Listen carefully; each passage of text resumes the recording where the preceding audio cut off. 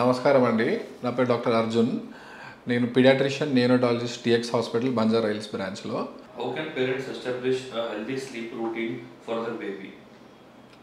చాలా కామన్ అయిన క్వశ్చన్ బేబీకి నిద్ర ఎలా పెట్టాలి?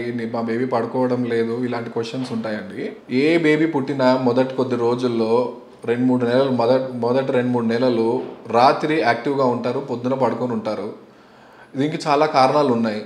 కానీ మనం చేయాల్సింది ఏంటి? ఫస్ట్ బేబీ పండుకునే చోట వేరే పని ఏది చేయకూడదు. బేబీ ఉన్న చోట తల్లి బేబీ మాత్రమే ఉండాలి. వేరే వాళ్ళు ఎవరు రాకూడదు. ఆ ప్రైవసీ అనేది ఉంటుంది. తల్లికి కాన్ఫిడెన్స్ అనేది ఉంటుంది ధైర్యం అనేది ఉంటుంది. బేబీ కూడా డిస్టర్బ్ అవ్వదు. ఇలాంటి డిస్టర్బెన్స్ లేని ఎన్విరాన్మెంట్లో ఉంటే కనుక స్లీప్ ప్యాటర్న్ అనేది ఫస్ట్ జల్దీగా వస్తుంది.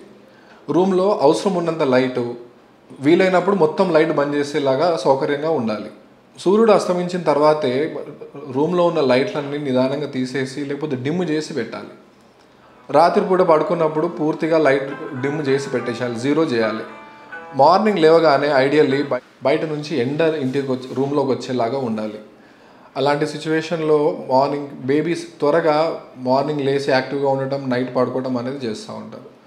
ఫీడింగ్ తల్లి పాలల్లో వచ్చే కొద్ది హార్మోన్స్ తోటి బేబీకి ఫీడింగ్ స్లీప్ ప్యాటర్న్ అనేది మొదలవుతుంది.